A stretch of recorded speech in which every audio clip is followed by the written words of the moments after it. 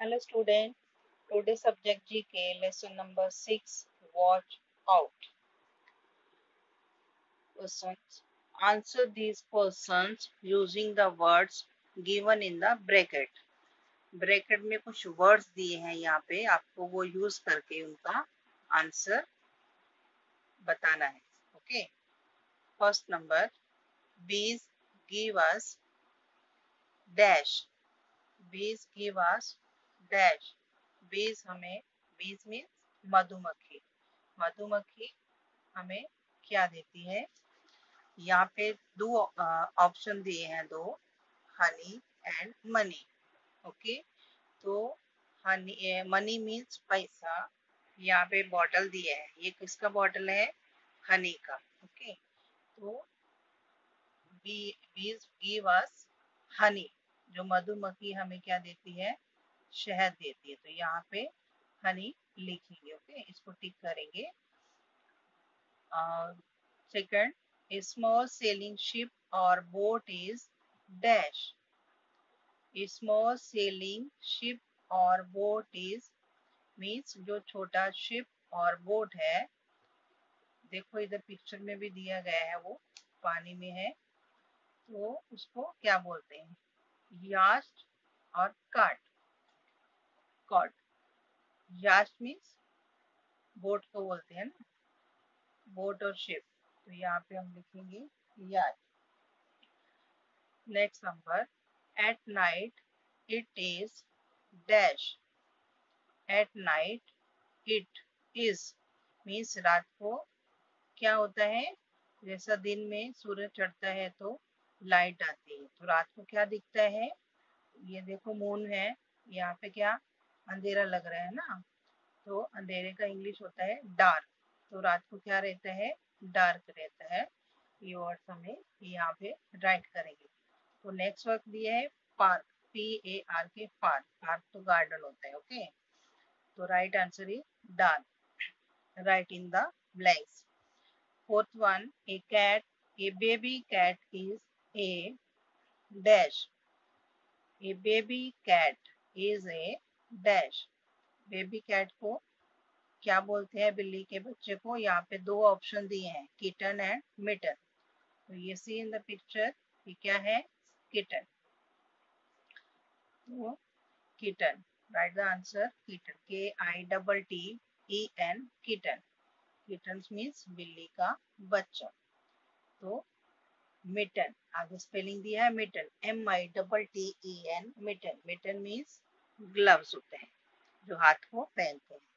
Fifth number if you are short you are not dash if you are short you are not dash means आपके सामने option दिया है ये giraffe दिया है।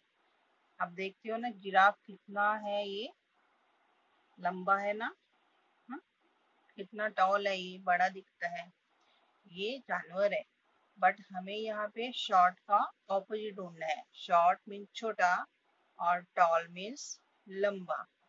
तो जब हम लंबाई मापते हैं तो टॉल जाएगा हाइट के अनुसार ओके लॉन्ग मीन्स भी लंबा होते हैं। पर जब भी हम लोग डिस्टेंस मापते हैं, दूरी मापते हैं तो लॉन्ग यूज़ करते हैं। यहाँ पे हमें ऑप्शन देना है ऑपोजिट शॉर्ट का ऑपोजिट टॉल तो यहाँ पे लिखेंगे tall next six daylight begins with dash daylight begins दिन जब शुरुआत होता है तो तो क्या वहाँ पे दिन चढ़ता है ना? तो क्या होता है? Dawn D A W N dawn okay seven we swim in the dash we swim in the dash means हम स्विम करते हैं। कहाँ पे करते हैं? ये देखो इधर क्या दिया है? वाटर दिया है नीचे। हाँ? तो ये दो ऑप्शन दिए हैं cake and lake cake means खाने की चीज़ है। बर्थडे पे खाते हो आप। और लेक ये लेक है। लेक मीन्स नदी होती है। यहाँ पे पानी होता है। वहाँ पे हम लोग क्या करते हैं? स्विम करते हैं। It the opposite of in is dash. The opposite of in is, in का opposite क्या रहेगा? In means अंदर। किसी भी चीज़ के अंदर को बोलते हैं इन तो देखो इधर बॉक्स दी है, उसमें वो जॉकर डाला है टॉयज है। तो उसके अंदर है, इसलिए लिखा है इन अगर वो बाहर आ जाएगा तो क्या बोलेंगे?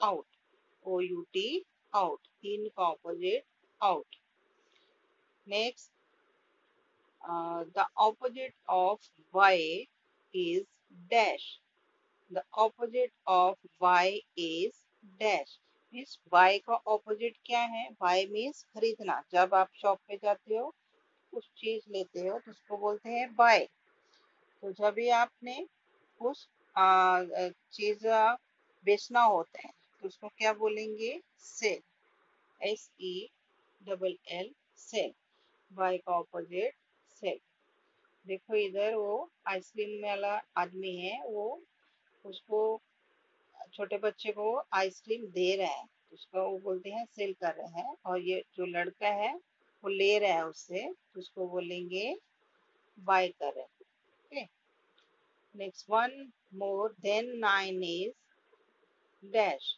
means one more than nine is मतलब नाइन में एक और डालेंगे तो कितना हो जाएगा?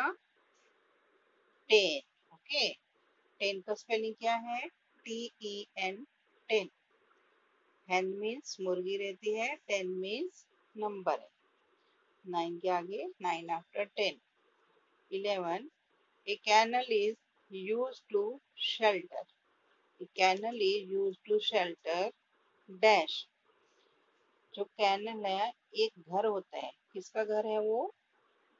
एनिमल्स का। एनिमल्स के लिए हम लोग बनाते हैं। तो यहाँ पे देखो ये कैनल है, उसमें क्या है वो? डॉग दिख रहा है। ओके यहाँ पे। तो यहाँ पे दो ऑप्शन दिए हैं।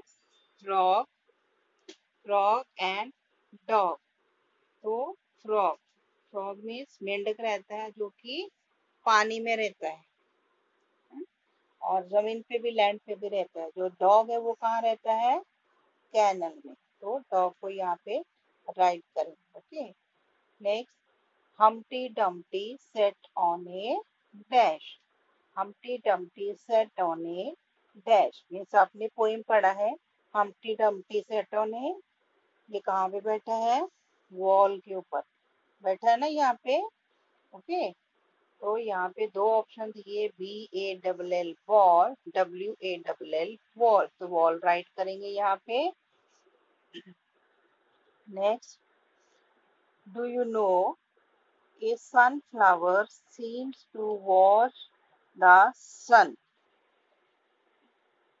to slowly turn it had to follow the sun moving cross the sky Means do you know, means क्या आप जानते हो A sunflower seems to watch the sun. जो sunflower है, जैसा वो sun निकलता है तो sunflower उसको वैसा ही देखता है।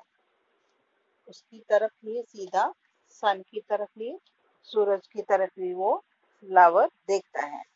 It slowly turn to it head to follow the sun moving cross the sky जब वो सन शाम होने तक धीरे धीरे अपनी दिशा चेंज करता है वैसा ही जो सनफ्लावर है वो भी अपनी दिशा का चेंज करता है। ओके सो so, हम लोग वापस रीड करेंगे इसको एक बार। First number bees give us honey bees give us honey तो हनी लिखेंगे यहाँ पे। A small sailing ship or boat is yacht. Okay. Third, at night is a dark. Fourth, a boy. Fourth, a baby cat is kitten. Okay. Fifth one, if you are short, you are not tall. Sixth one, daylight begin with dawn. Seven, we swim in the lake. Eight, the opposite of in is out. 9. The opposite of by is self. 10. 1 more than 9 is 10. Next, a kennel is used to shelter dog.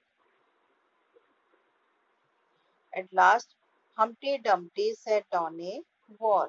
So, जो मैंने underlines किए हैं words पहले आप पूरा sentence लिख के लो picture draw नहीं करना है आपको ओनली सेंटेंस राइट करना है। लेसन का नाम लिखना है आंसर लिखने हैं सेंटेंस लिखने के बाद आंसर राइट करने हैं जो मैंने अंडरलाइन किए हैं। Okay thank you